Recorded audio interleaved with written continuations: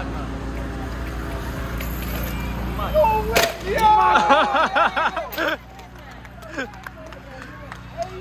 the workout, bro.